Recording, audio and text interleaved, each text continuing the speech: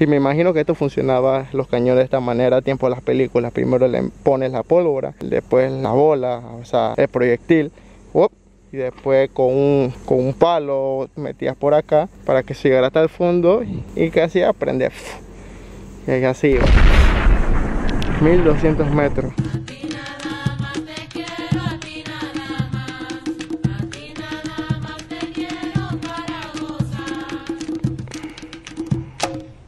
Hey, ¿qué sepa familia? Bienvenidos a un nuevo video y hoy estamos en el Fuerte San Lorenzo ubicado en la provincia de Colón. ¿Y qué es el Fuerte San Lorenzo? Donde se cuidaba la entrada de todas las personas que venían desde el Atlántico para atacar a la ciudad de Panamá. Y aquí mismo tenemos el río Chagres. Fue donde vino el pirata Henry Morgan, atacó atacó todos los que eran estas áreas por acá, entró y mandó a más de 400 hombres por acá porque claramente el fuerte San Lorenzo está en un arrecife grande. Le puedo poner que son más como de 10, 15 metros de altura. Él no podía atacar vía agua así que él tuvo que mandar a sus hombres para que entraran por tierra y así pudo atacar este fuerte y no le pudo pasar nada a sus embarcaciones que venían desde allá para poder entrar todo el río Chagres y llegar a la provincia de Panamá o como se le llamaba Panamá la Vieja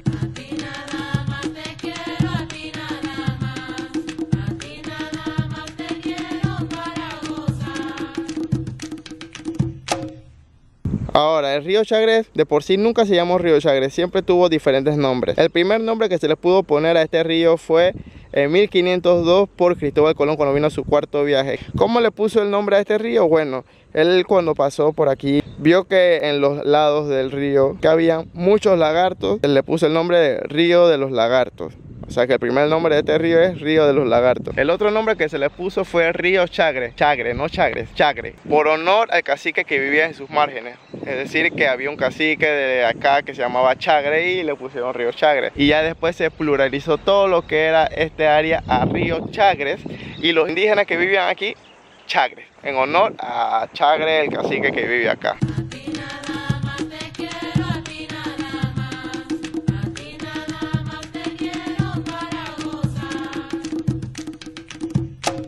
Mira, y aquí todavía en lo que es el Fuerte San Lorenzo quedan los cañones que se utilizaron para cuidar todo lo que era Panamá. Y ahora, lo que me acaban de decir los muchachos es que esto se llamaba la luneta. La luneta. Hay más como de 13, 15 cañones aquí posicionados. Vamos a decir que estaban posicionados de la manera como era antes, pero yo digo que no estaban en esta posición. claro, hay algunos que claramente por lo normal que son los estudios arqueológicos es donde se posiciona. Yo digo que todavía esto puede funcionar, o sea, porque mira el material.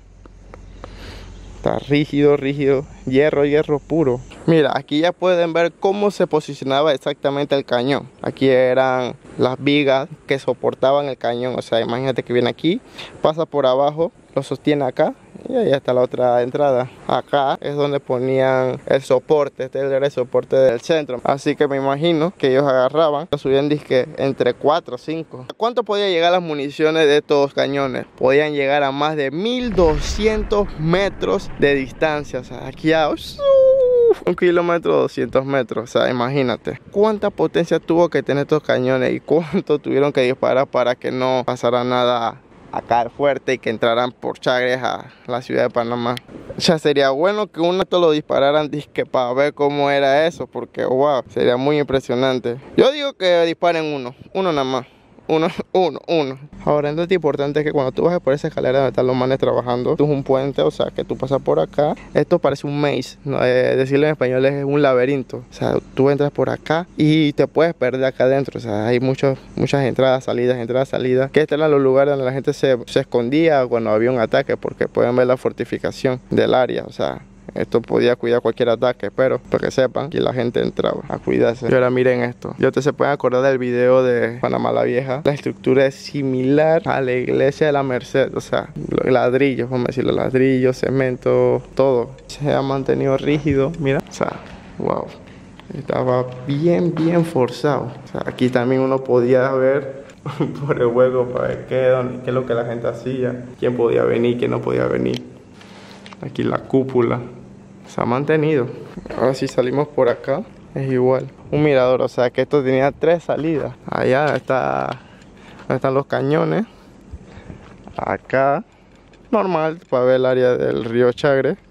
Y acá del lado norte es para ver todo lo que era el océano Atlántico o como también se le puede llamar Mar Caribe.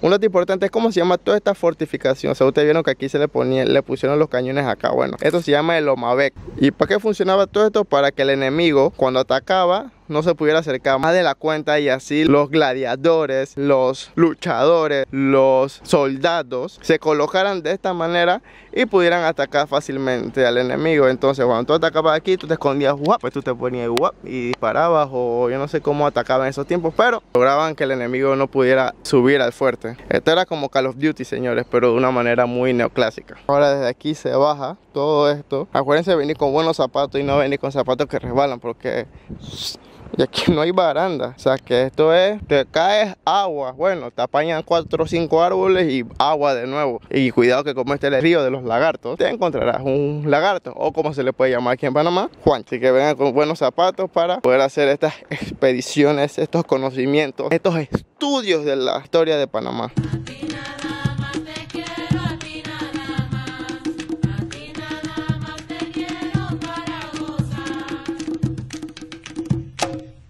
Cómo era la, la, fortificación de esto. Es similar, todo es similar, literal, literal, a Panamá la Vieja. Ladrillo, cemento, piedra, mampostería, vamos a decirlo así. Esto se llamaba la mampostería. Wow. Ya ustedes se pueden dar cuenta que esto siempre va a ser igual, porque todo fue en el mismo tiempo la creación de Panamá la Vieja, la creación de Fuerte San Lorenzo, Nombre de Dios, todo va a tener el mismo estilo. Y todo esto lo que es el Fuerte San Lorenzo, aparte de ser una fortaleza, también sirvió como prisiones del Estado. Tú te imaginas estar encerrado aquí con cuánta gente... Mira, hay eco y todo. Y se puede entrar. Ahora tú te imaginas que yo estoy acá adentro y después, por obra y gracia, hay una puerta y cierre.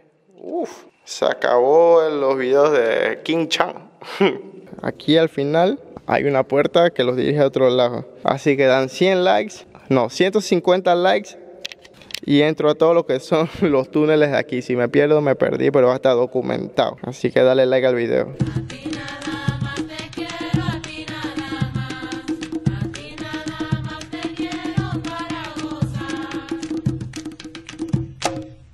Esto es el aljibe o el cisterna donde se guardaba las aguas de las primeras temporadas de lluvia. Ahorita mismo tiene mucha agua, o sea, tiene mucha agua guardada y puede ser que así era como era antes. O sea, llena, llena, llena, llena. Hay que tomar cuidado aquí porque el que caiga no hay algo que lo pueda agarrar, que puede decir, hey, sálvame, así que nos mantenemos por acá. Ahora, para que sepan, en el patio de armas, todo esto es el patio de armas, se encuentra esto, que es la casa del castellano, donde vivía el militar responsable de la defensa y del gobierno del castillo. O sea, aquí era donde vivía el jefe de todo esto. Cuando le decía, muchachos, vengan aquí, que tenemos que hacer una excursión, tenemos que cambiar de personal, tenemos que hacer esto, tenemos que hacerlo otro, todo lo que él decía se hacía. Y esta era la casa del jefe de acá. Y ahora, al lado de la casa del castellano que había acá, este es el cuartel de tropa. Era una casa de dos plantas. La primera que ustedes pueden ver aquí en la planta baja era una enfermería y espacio para el alojamiento de los oficiales. Y en la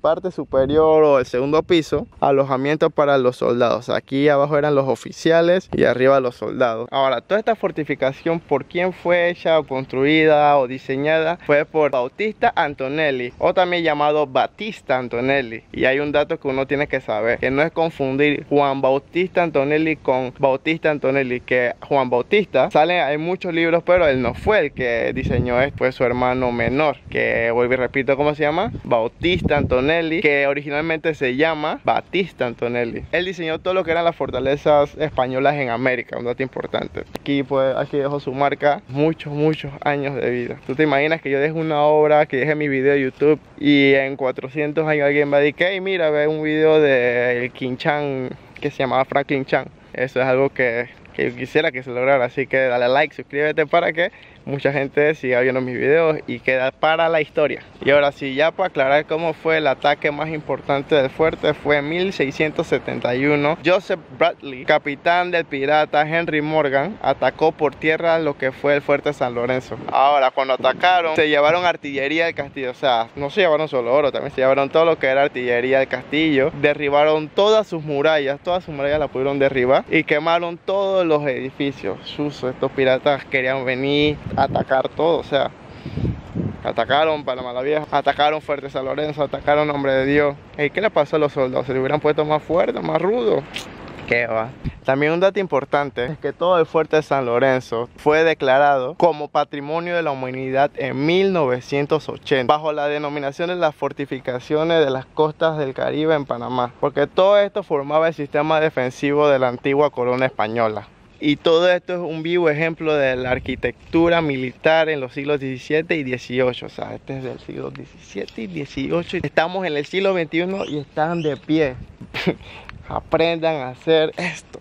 Esto era construcciones. Bueno, también la mano de obra hoy en día, hacerlo así, muy cara, ¿eh? Y sin más que decir, muchas gracias a todas las personas que le gustó mi video de YouTube sobre el Fuerte San Lorenzo. O sea, todo esto tiene una historia, todo esto tiene un porqué de la vida. Y estoy tratando de llevársela a sus casas para que aprendan, para que conozcan un poco más. Y así también les nazca venir a estos lugares. Solo le pido a los que son los administradores de los lugares turísticos que dejen volar los drones para que la gente pueda llevarse una mejor imagen de todas las cosas. Vamos a hacerlo bien, vamos a hacerlo bien. Así que espero que les haya gustado el video. Denle like, suscríbanse, comenten, toquen la campanita para que sigan viendo los demás videos que voy a estar haciendo. También para que se den cuenta que aunque no tengamos todas las herramientas que nos dejen, vamos a seguir haciendo contenido. O sea, aquí no nos dejamos hasta que cuando no, no, no, no. Así que familia, les mando un abrazo, mucho amor, mucho cariño, respétese para que lo respeten y próximo video.